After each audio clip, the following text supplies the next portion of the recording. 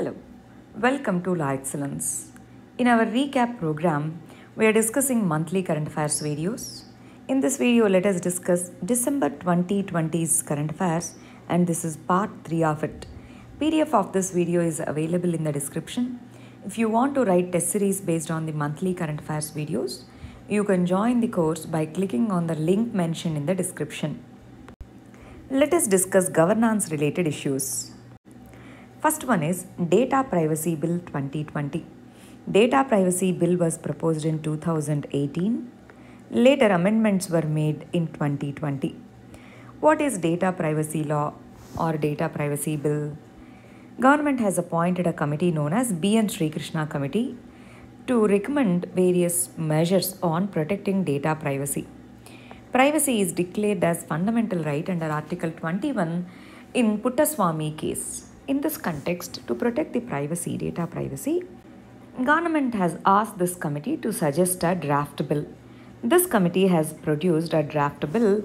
According to this, data privacy authority should be established which is responsible for enforcement and effective implementation of the law and there should be an appellate body to dispose any cases against the cases or orders against DPA. 50 statutes and regulations were identified by this panel which will overlap with the data protection framework. These needs to be suitably amended and to boost the data protection in India, it has suggested certain changes to Aadhaar Act and public and private entities both have to adhere to these guidelines. For the consumer, from the consumer side, if we look at the provisions of this bill, data can be processed or shared by any entity, either government or private entity, only after the consent. Safeguards are provided, including penalties, to prevent the misuse of personal data. All data to be categorized under three heads 1. General data, 2. Sensitive data, 3. Critical data. And consumers' data will be used only after taking consent.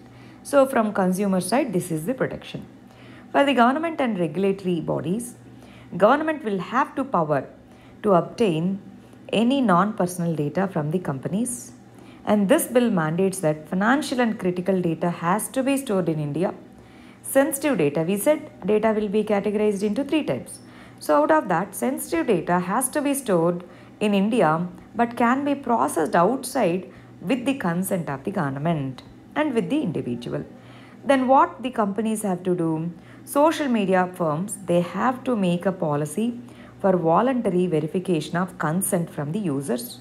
Second, sharing data without the consent of the user will entail fine up to 15 crore rupees or 4 percentage of total global turnover of that company.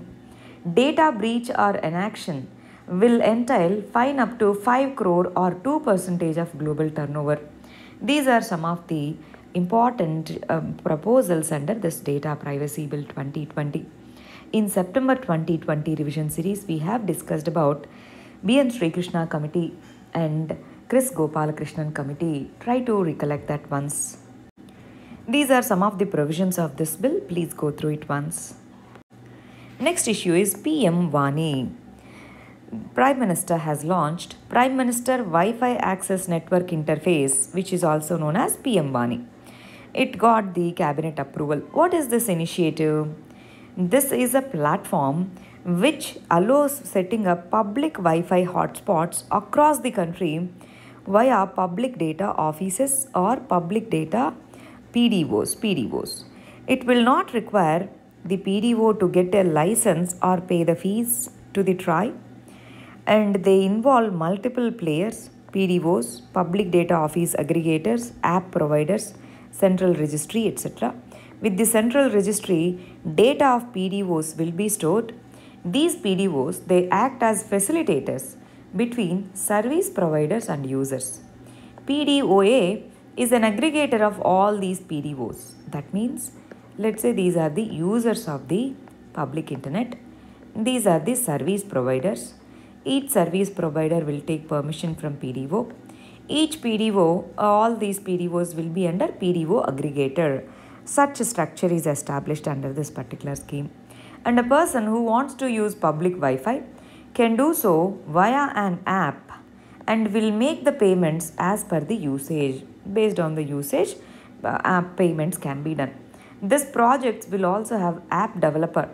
They build the platform to register the users and they discover the WANI compliant Wi-Fi hotspots in the public area and they display them on the app. Uh, as the consumers they register in the app, they discover the Wi-Fi hotspot through it through that and they can use it.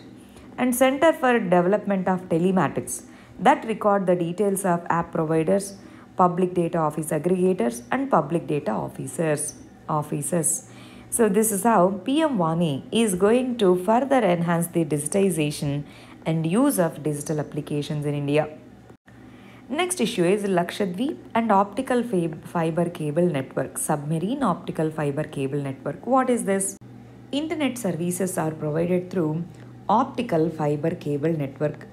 These optical fiber cables are underground, on land, submarine, on over water, below beneath the water. That means from one continent to another continent, underwater submarine communication cables are there.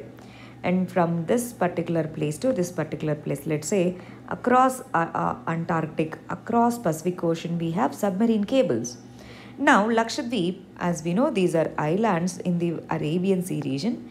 We want to provide high speed internet to these particular islands that's why union cabinet has approved laying the undersea optical fiber cable to connect 11 islands of lakshadweep with kochi by 2023 it helps in improving the broadband connectivity in this union territory. This will be funded through uh, Universal Service Obligation Fund USOF. This will improve the telecommunication facilities in the Lakshadweep area by providing large bandwidth and it plays important role in enhancing the e-governance. Under Universal Service Obligation Fund, each telecom company contributes to this particular fund out of the total revenues they get um, that they get annually. Then what is this submarine optical fiber cable network? This is a cable laid on the seabed between land-based stations. In this case, from Kochi to Lakshadweep Islands. It, it is to carry the telecommunication signals across the stretches of oceans and seas. Optical fiber elements, they are individually coated with plastic layers and they have protected tube for suitable for the marine environment and this won't harm the marine organisms and this will be protected in the marine environment. Already last year for, from Chennai, Andaman and Nicobar Islands are connected with submarine optical cable fiber network. Now, Lakshadweep Islands will be connected by 2023. Next issue is Epidemic Diseases Act 1897.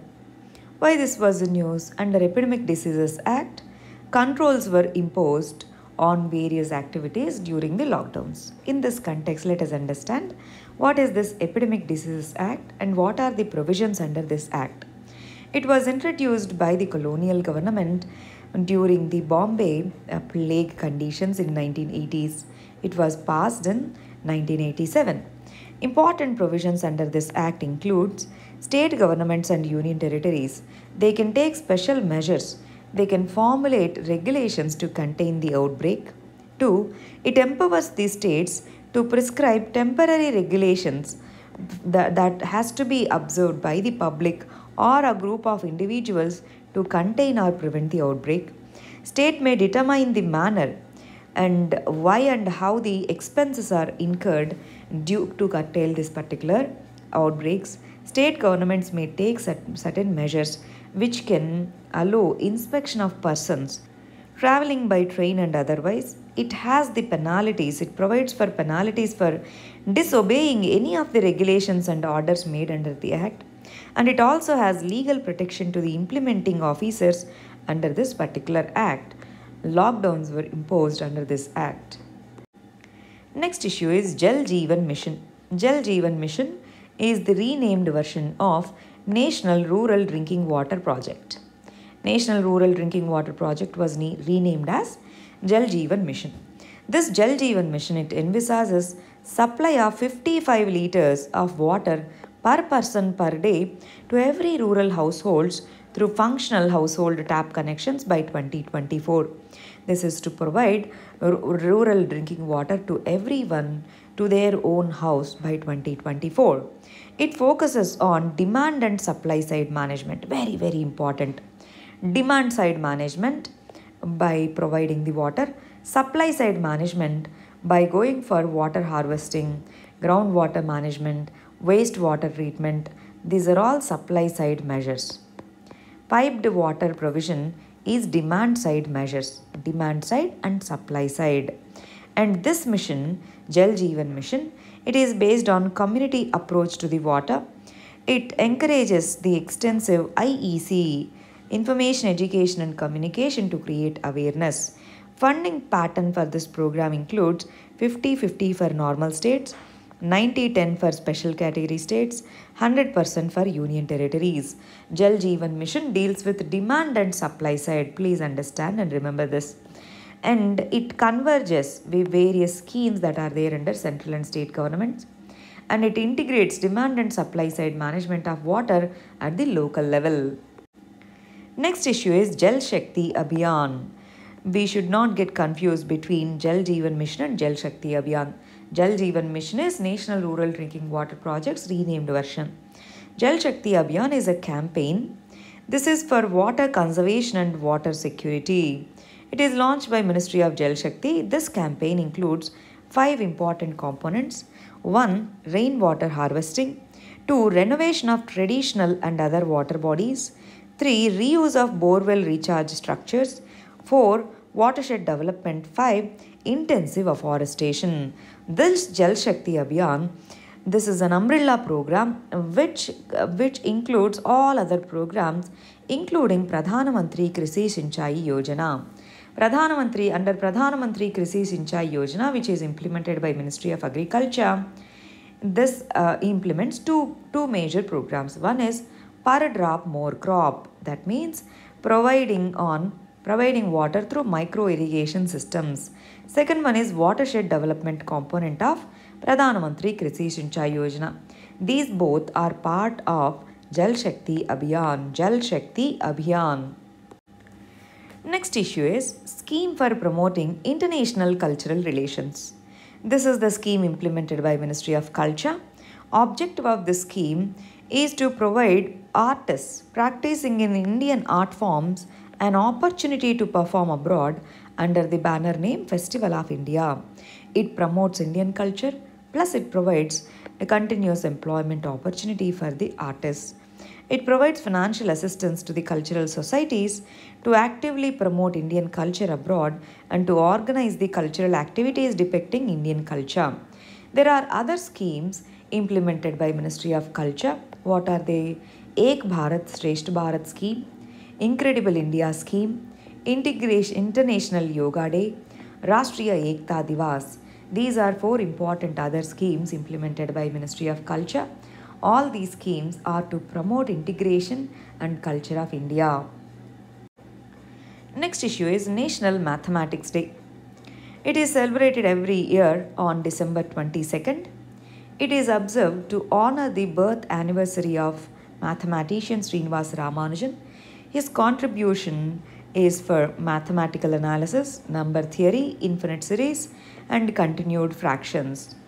This is the little description about his personal his life. Please go through it once. There's a movie called The Man Who Knew Infinity. It is a biopic on Srinivasa Ramanujan. Earlier in UPSC, this was the question. The Man Who Knew Infinity. This movie is based on whose life? That was the question in UPSC. Next issue is Atmanirbhar Bharat Rojgar Abhiyan. This is to boost the employment in the formal sector.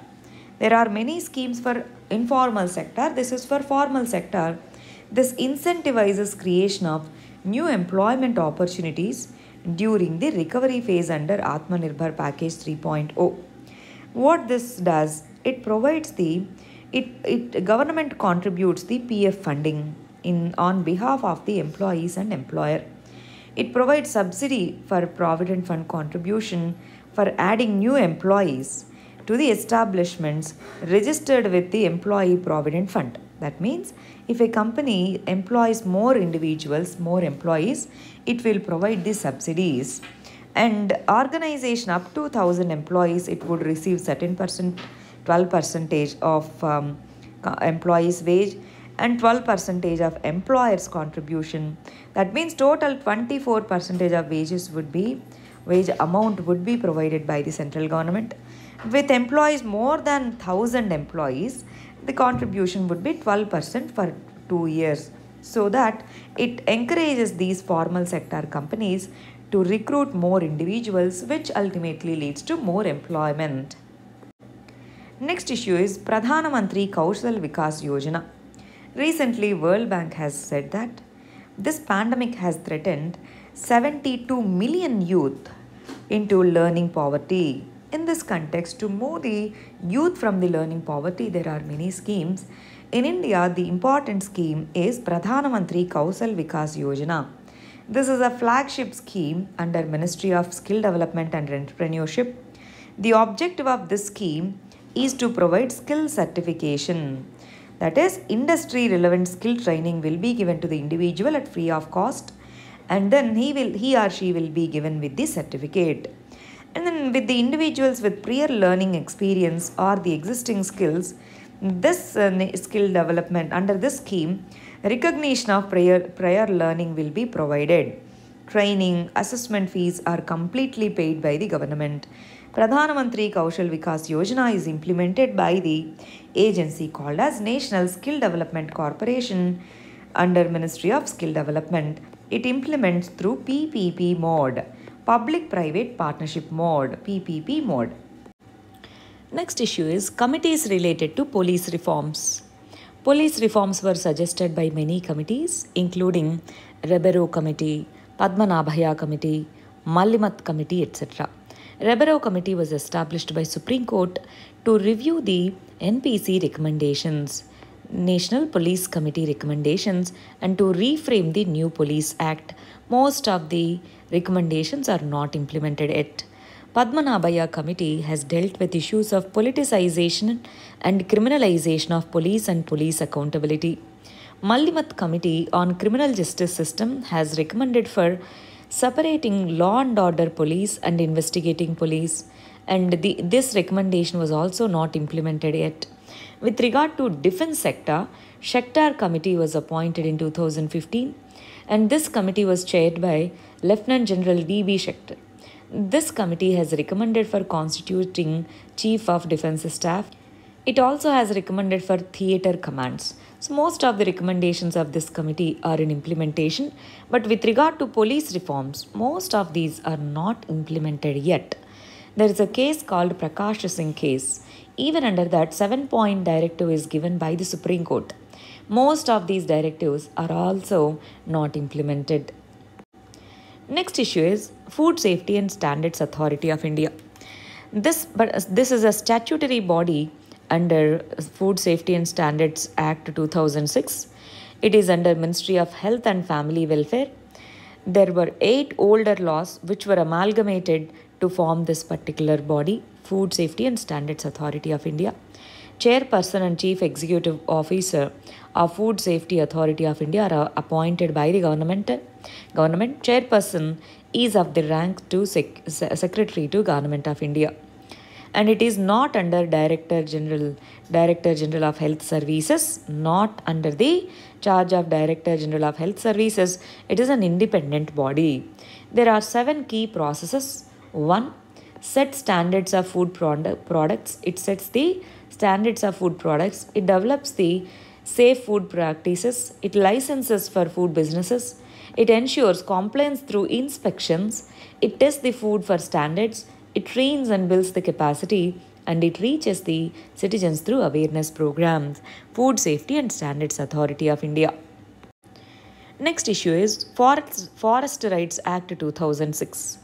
Recently, 1200 tribal applications on review of their land titles was rejected by the court. That's why this was in news. So, what is this Forest Rights Act and what are these land titles? Forest Rights Act full form is Scheduled Tribes and for Other Forest Dwellers Recognition of Forest Rights Act 2006. It provides the land titles. Forest Rights Act 2006. It recognizes and vests the forest rights and occupation in forest land to the two, two groups of people one, forest dwelling scheduled tribes, two, other traditional forest dwellers. These forest rights they can be claimed by any member or community who has for at least 3 generations prior to this date primarily resided in the forest land and depend on the forest livelihood. And it strengthens the conservation regime because under this act right to conservation is given as a statutory right to the uh, forest dwelling community and other forest tribes other forest uh, dwelling community Grama Sabha is the authority that initiates the process for determining the nature and extent of individual forest rights and community forest rights. There are two types of rights individual forest rights and community forest rights. Or what should be given to whom? That will be decided by Gram Sabha and the land titles are finalized at the district level. Gram Sabha is a recommendatory body but uh, finalization is at the district level. Next issue is Human Development Index 2020. In 2020 Human Development Report titled Human Development and Anthropocene this was released. This report is released by UNDP and it was first time released in the year 1990 from then onwards annually this report is released and it has five indices one is human development index second one is inequality adjusted human development index. Third one is gender development index. Fourth one is gender inequality index. Fifth one is multidimensional poverty index. HDI is released as the first HDI is released as part of first, first human development report. This ranks the countries on the basis of three parameters. One is life expectancy at birth, two on educational attainment, three on gross national income. According to this Human Development Report 2020, India has dropped two ranks in HDI and we, we, we are at 131 rank. Earlier we were in 129th. So now 131 rank out of 189 countries. India's gross national per capita income fell down on PPP basis, purchasing power parity basis. Life expectancy at birth, it was around 69.7 years. Human Development Index released by UNDP and Norway is in the top position. After that, second position, Ireland. Next, let us discuss environment and disaster management related issues. First one is Lakshadweep is declared as organic area. Lakshadweep is the first union territory which is declared as 100% organic area under Paramparagat Krishi Vikas Yojana which, which means organic farming improvement program under that program, government provides certifications to the states and union territories based on the use of synthetic fertilizers and pesticides.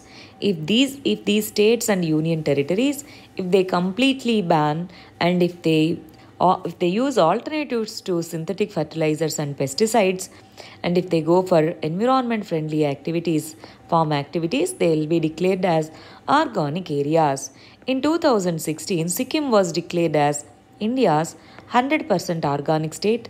Now, Lakshadweep is declared as organic area. From Cochin, these are the group of Lakshadweep islands.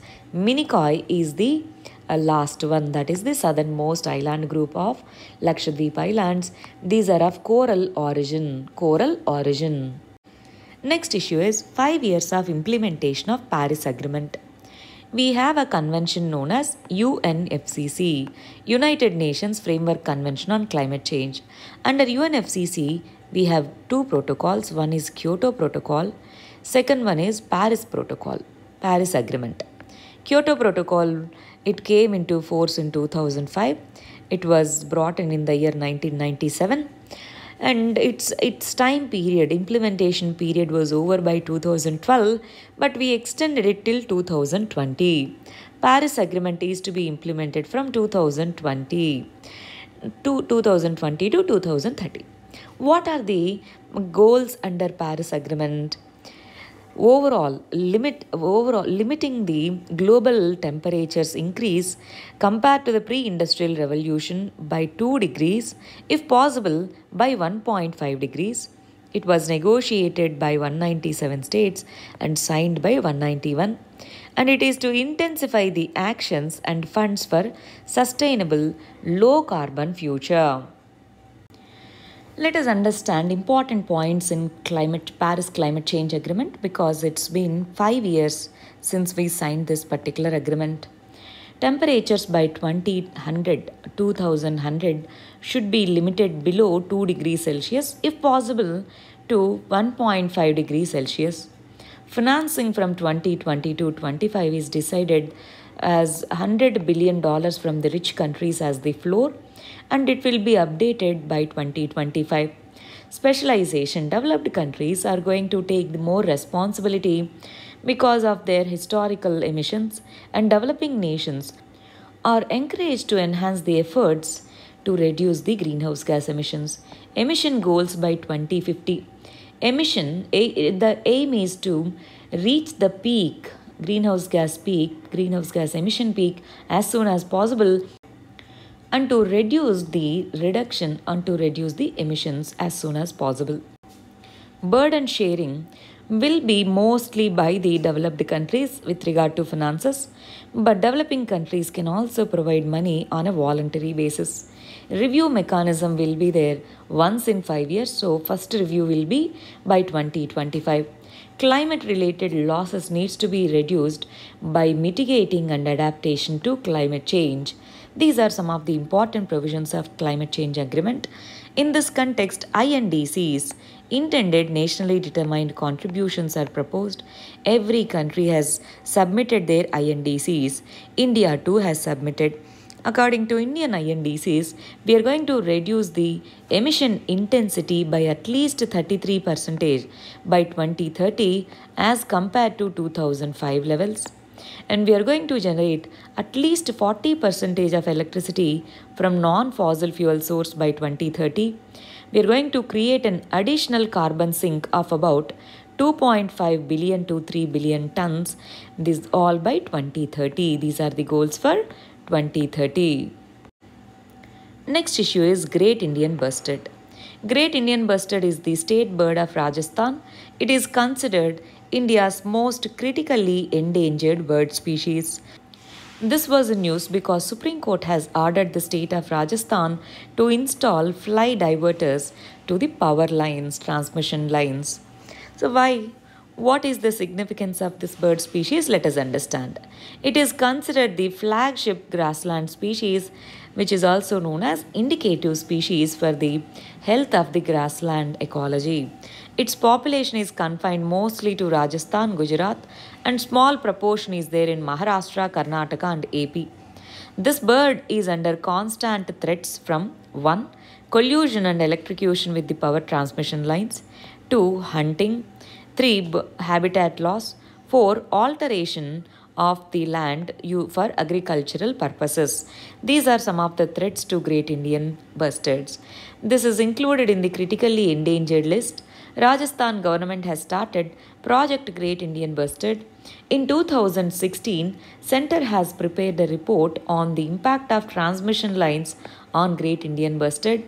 Based on that, Supreme Court has asked the NGT to respond on this and NGT has delivered its final order to install to go for underground transmission cables in the uh, habitat areas of Great Indian Bustard. In this context, let us understand the habitat and the location of Great Indian Bustard further. Rajasthan, Gujarat, Maharashtra, Karnataka and AP and some parts of Madhya Pradesh.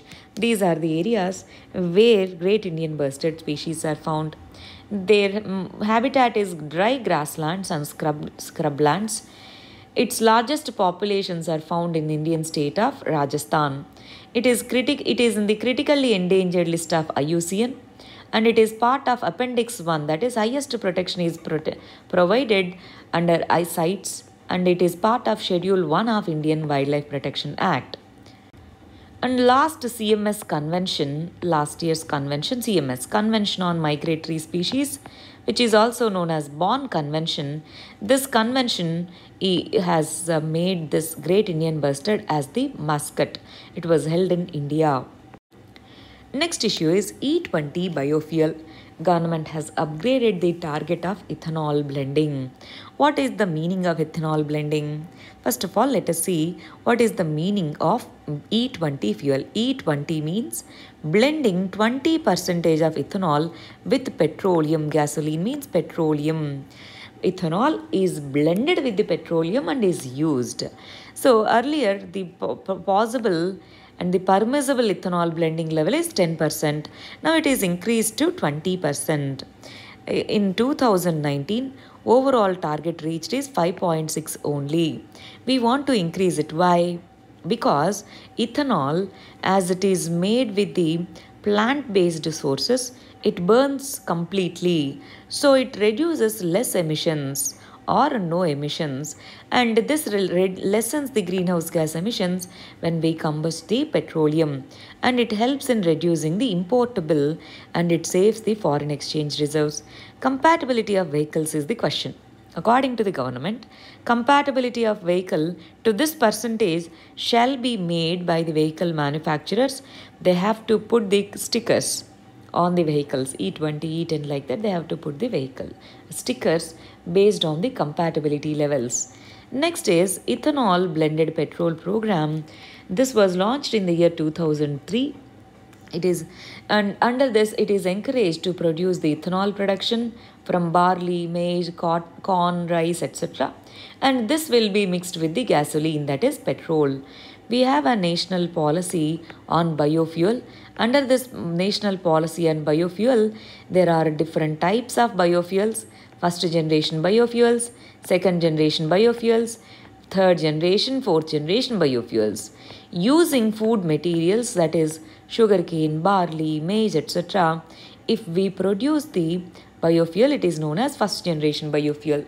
It really leads to food insecurity that's why second generation biofuels which uses the organic waste and bio waste that is considered viable for now. And ethanol molecules they contain oxygen so it allows the engine to combust the fuel completely. So fewer emissions will be released by this. That is why ethanol is considered cleaner fuel. Plus ethanol is produced from the plant material. That is why it is considered renewable fuel also. E20 is blending. If it is E40, that means 40% ethanol, 60% petroleum is blended. Next issue is crop residue management scheme. What is this crop residue management scheme? We know that stubble burning is causing air pollution and which leads to global warming and climate change. So in this context, to address this air pollution problem in northern India, in, in the states of Punjab, Haryana and UP and National Capital Territory of Delhi, this scheme was launched by Ministry of Environment and Forests. This is to reduce the air pollution and to prevent the loss of nutrients and soil microorganisms caused by stubble burning. Under in situ, Uh, under this crops residue management scheme, in situ management of cross, crop residue is done through appropriate mechanization inputs that means appropriate machines are used to cut the crop till the root level. So promoting farm machinery banks and uh, custom hiring centers for custom hiring of in situ crop residue management machinery is part of this. This uh, under this scheme, awareness generation is also an important component. Demonstration of cross residue management methods, capacity building initiatives, information education communication strategies are part of this particular scheme. There are other alternative measures to manage this residue. One is to promote the biofuels using this. Two, it can be used for uh, generating the heat energy. Can be used as a resource to generate the heat energy in the incineration. So that is how crop residue can be managed in a better way.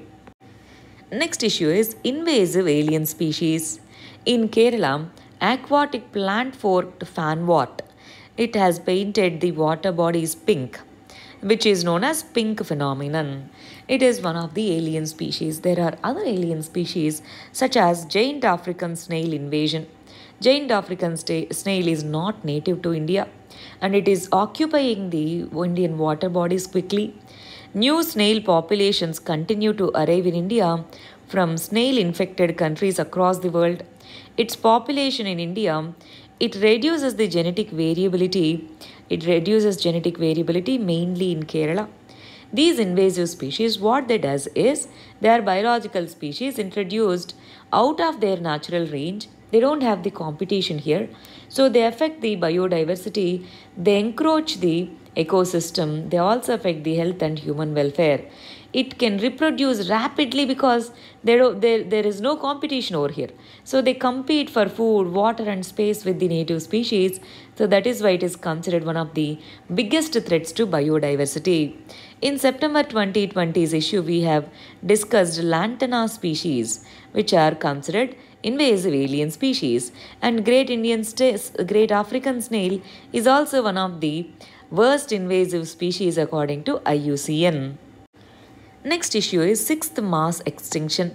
Mass extinction means reduce or reduction in the biological species substantially, generally more than three quarters. That means three by fourth of species in the in the uh, three by fourth of the species should be extinct.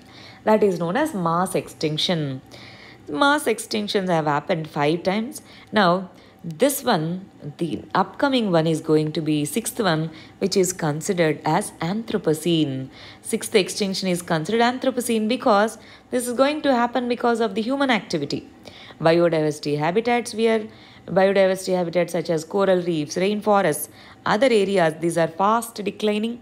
Current rate of extinction of species is estimated at 1000 to 10,000 100 to 1000 times higher than the natural extinction. That is why this is considered as sixth mass extinction, which is caused by the human factors. That is why Anthropocene, the word Anthropocene. Next issue is wetlands of India. Recently, under Ramsar Convention, Tso Kar Wetland Complex is declared as Ramsar Site of National of uh, Wetland of International Importance. Tso Kar Wetland is India's 42nd Ramsar site and second one in Ladakh. In Ladakh Union Territory, Tso Moriri wetland is another Ramsar wetland that is declared as the first one. This is the second one. Recently, few more wetlands are added to the Ramsar sites. One is Lonar Lake, Sur Sarovar, Agra, Kabartal wetland in Bihar, Asan Conservation Reserve in Uttarakhand. After that, there are few more that are added in the upcoming months. We will discuss them later by 2020 December, we there were 42 Ramsar sites. As of now, 46 are there. Four are added later. 2020 December, six uh, sorry 42nd 42 Ramsar sites were there. Next issue is Biological Weapons Convention. We discussed that Parliamentary Standing Committee on Health it has recommended for a law to deal with bioterrorism. In this context, what if, if viruses such as corona can be used as bioweapons? How to deal with them? For that, there is a convention which is known as Biological Weapons Convention. Under Biological Weapons Convention, this is a multilateral disarmament treaty to ban the development, production and stockpiling of the biological weapons. It was signed in 19 sorry 1972. It is a legally binding treaty India has signed and ratified it. Under this Biological Weapons Convention, development, stockpiling, acquisition, retention, and production of biological agents and toxins, weapons equipment, transfer and assistance of the toxins, all these are banned. Next issue is Emission Gap Report. Emission Gap Report is published annually by United Nations Environment Program. Emission Gap Report means under Paris Agreement we have certain goals, right? Emission goals. So what are the goals that we have? What are the emissions that we have emitted? Are there any gaps? So this this report calculates these gaps. This is an annual report published by UNEP which measures the gap between anticipated emissions and levels consistent with the Paris Agreement goals to limit the global warming. What is this UNEP by the way? UNEP is the Global Environmental Authority. It is a specialized body under UN which was established in the year 1972. It promotes the global agenda. It promotes sustainable development under UN system. It submits emission gap report, global environment outlook, frontiers, invest into healthy planet. These are the reports of UNEP. It also runs major campaigns such as Beat Pollution, UN 75, World Environment Day is celebrated by UNEP, Wild for Life, and its headquarters is located in Kenya, Nairobi. Next issue is Climate Change Performance Index, very important. Now, India is ranked 10th in the Climate Change Performance Index for the year 2021. Last year, India was ranked 9th position. This Climate Change Performance Index is published by German Watch and New Climate Institute and Climate Action Network annually since 2005. In 2014, we got 31st rank. Now we are in 10th rank. It is an independent monitoring tool which understands the policies taken by various governments to reduce climate change. It aims to enhance the transparency in the international climate policies and it allows for comparison of climate protection efforts and progress made by individual countries. This is published annually and India is in the 10th rank, 10th position. These are the issues of December month. Thank you very much. All the very best.